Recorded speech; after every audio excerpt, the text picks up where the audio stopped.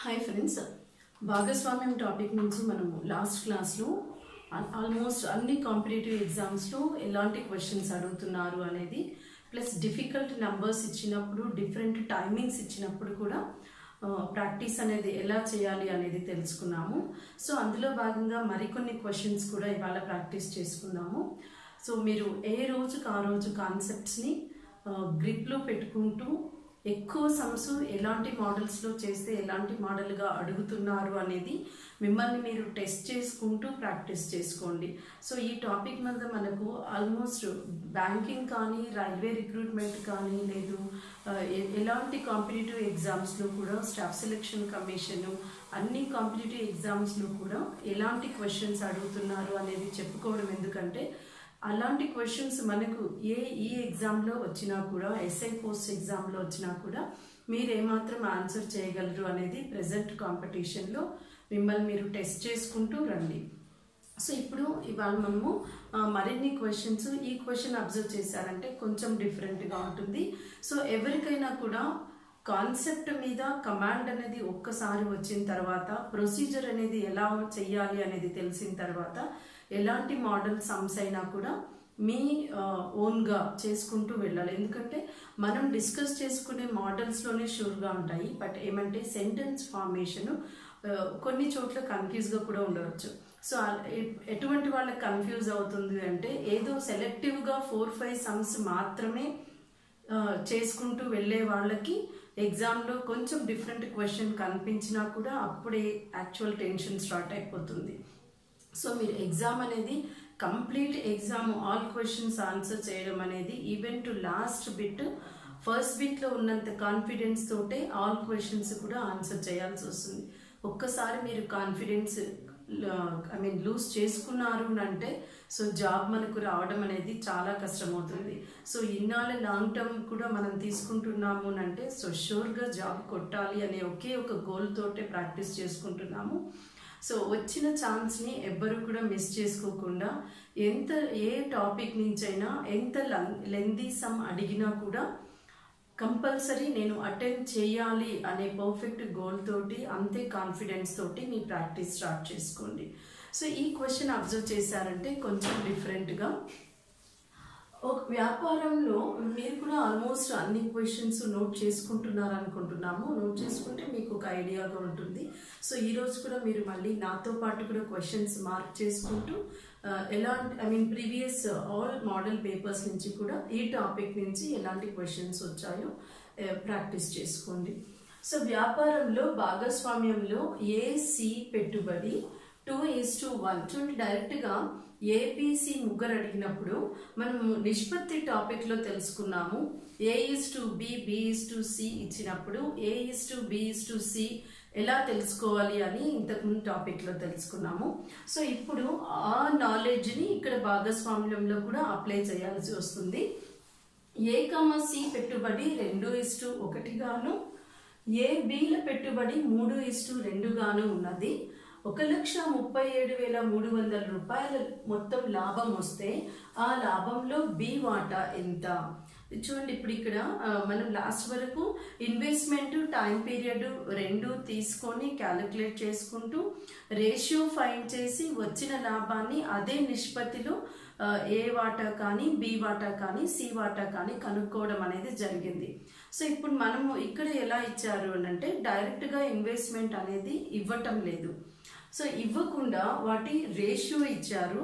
అదే రే అంటే time period పర్టికులర్గా మెన్షన్ చేయకపోతే సేమ్గా ఉంటుంది. దాని గురించి వరీ కావాల్సిన అవసరం లేదు అని కూడా లాస్ట్ క్లాస్లో తెలుసుకున్నాము. సో ఇప్పుడు ఓన్లీ ఇన్వెస్ట్మెంట్ రేషియో ఫైండ్ చేసుకొని అదే రేషియోలో లాభాన్ని కూడా పంచుకోవడం జరుగుతుంది. సో అలా పంచినప్పుడు బి వాటా ఎంత అని అడుగుతున్నారు. So first A is to B తీసుకోండి. ఏ ఈస్ టు బి తీసుకుంటే త్రీ ఈస్ టు టూ అయింది. సో మనకు కనెక్షన్ ఎలా ఉండాలంటే A is to B B is to C ఉంటే మనకు సమ్ ఈజీగా ఉంటుంది. కానీ ఇక్కడ ఏ కమా సిల మధ్య నిష్పత్తి ఇచ్చారు కాబట్టి కనెక్షన్ సో దీన్ని కూడా మీరు రివర్స్గా రాసుకోండి. B is to a is equal to two is to త్రీగా రాసుకుంటే ఎందుకు రాసుకుంటున్నామంటే ఇంకొక నిష్పత్తి ఏ కమా సిలకు ఇచ్చారు. So A is to C is equal to two is to వన్గా ఇలా నోట్ చేసుకోవాలి. ఇప్పుడు ఇక్కడ చూడండి రెండు ఏ అయింది కామన్ అయింది బట్ ఇక్కడ కామన్ లేదు. ఇదే టాపిక్ మనము ఆ, నిష్పత్తుల్లో కూడా డిస్కస్ చేసుకున్నాము. ఈ రెండు మనకు సేమ్ కావాలి అంటే మూడు రెండుల కాసాగు కనుక్కోవాలి. సో మూడు రెండుల కాసాగు ప్రధాన సంఖ్యలు కాబట్టి మూడు రెండుల ఆరు అవుతుంది. మూడు రెండుల ఆరు అవుతుంది. సో ఇక్కడ ఆరు రావాలి అని అంటే దీన్ని రెండుతో గుణించాలి కాబట్టి దీన్ని కూడా రెండుతో గుణించాలి. సో అప్పుడు రెండుతో అంటే ఈ మొత్తాన్ని రెండుతో గుణించాలి ఈ మొత్తాన్ని మూడుతో గుణించాలి. ఎందుకంటే రెండు మూడుల ఆరు కాబట్టి. సో అప్పుడే మనకి ఇక్కడ ఏ కామన్గా ఉంది కాబట్టి ఇక్కడ కూడా ఏ వాల్యూ కామన్గా వస్తుంది అనమాట సో ఇప్పుడు బి ఈస్ టు ఏ ఏమవుతోంది? టూ టూస్ ఫోర్ అవుతుంది. Two twos four is to two threes are six ఇక్కడ చూడండి ఏ ఈస్ టూ సి అవుతోంది. Three twos are six is to three ones are three ఇక్కడ ఏ వాల్యూ కామన్గా ఉంది. ఇక్కడ కూడా నంబర్ సిక్స్ అనేది కామన్గా ఉంది కాబట్టి మనకు B is to A is to C అనేది four is to six is to three అవుతుంది. కానీ మనకి ఇక్కడ అడిగిన క్వశ్చన్ బి వాటా అడుగుతున్నారు కాబట్టి మీరు ఆర్డర్లో రాసుకోవాలి అనుకుంటే రివర్స్ చేసి రాసుకోవచ్చు. లేకపోయినా కూడా బి వాల్యూ డైరెక్ట్గా బి నాలుగు భాగాలు ఏ ఆరు భాగాలు సి మూడు భాగాలు అవుతుంది కాబట్టి సో దాన్ని బట్టి మనము డివైడ్ చేసుకోవాలి. ఇప్పుడు టోటల్ చూడండి four plus six ten ten plus three thirteen అనేది టోటల్ పార్ట్స్ అయింది. సో ఇందులో బి వాటా మాత్రమే అడుగుతున్నారు.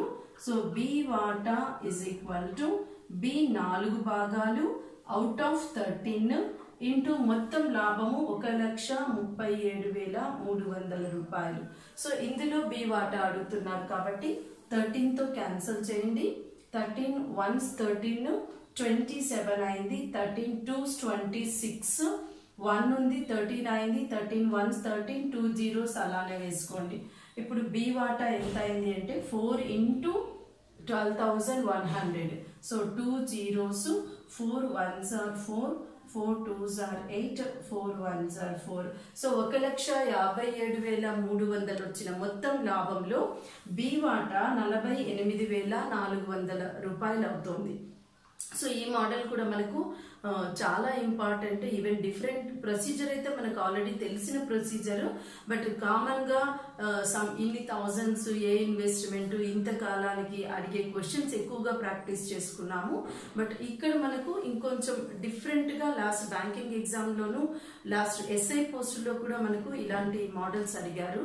సో ఒక్కసారి ఏదైనా డిఫరెంట్గా క్వశ్చన్ కనపడితే దాన్ని ఇమీడియట్గా మీకు లెసన్లో చెప్పాలి అని చేసే ప్రయత్నము మీకు కంపల్సరీ యూజ్ కావాలి అని ప్లస్ ఇలాంటి మోడల్స్ మీకు ఎగ్జామ్లో ఎదురైతే టెన్షన్ పడకుండా చాలా ఈజీగా చేయగలరు అనే కాన్ఫిడెన్స్ తోటి వీళ్ళని ఎక్కువ డిఫరెంట్ మోడల్స్ డిస్కస్ చేయడం జరుగుతోంది. అది కంపల్సరీగా యూస్ చేసుకుంటూ ప్రాక్టీస్ చేయండి.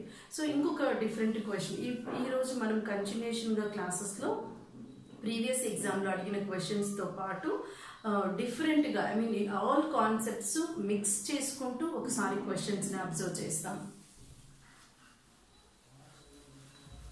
సో ఇక్కడ మనకు మరి ఇంకొక మోడల్ క్వశ్చన్ నోట్ చేసుకుంటూ చెక్ చేసుకుందాము. సో నాతో పాటు క్వశ్చన్ కూడా నోట్ చేసుకోండి. One lakh twenty thousand so one lakh twenty thousand rupees ఒక అతని వాల్యూ ఇంకొక అతను one lakh thirty five thousand one lakh thirty five thousand ఇంకొక అతనిది one lakh fifty thousand so వాళ్ళ ముగ్గురిది ఈ ముగ్గురు one lakh twenty one lakh thirty five one lakh fifty thousand పెట్టుబడులతో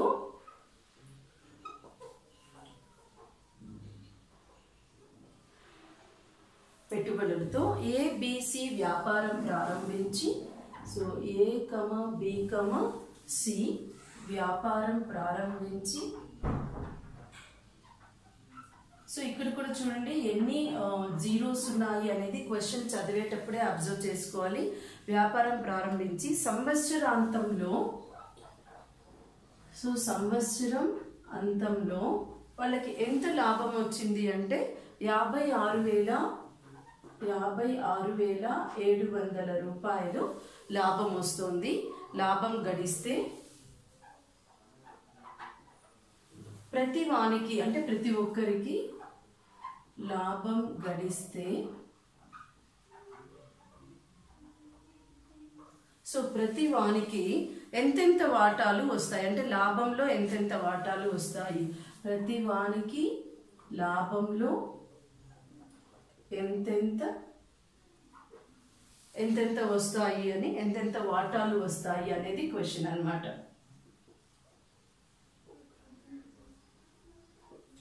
so ఇక్కడ ముగ్గురు ఉన్నారు ఆ ముగ్గురు ఎంత పెట్టుబడులతో చేస్తున్నారు అంటే one lakh twenty thousand one lakh thirty five thousand one lakh fifty thousand ఈ పెట్టుబడులతో కాలాన్ని ప్రత్యేకించి ఇవ్వట్లేదు కాబట్టి ముగ్గురికి టైం పీరియడ్ సేమ్గానే ఉంటుంది.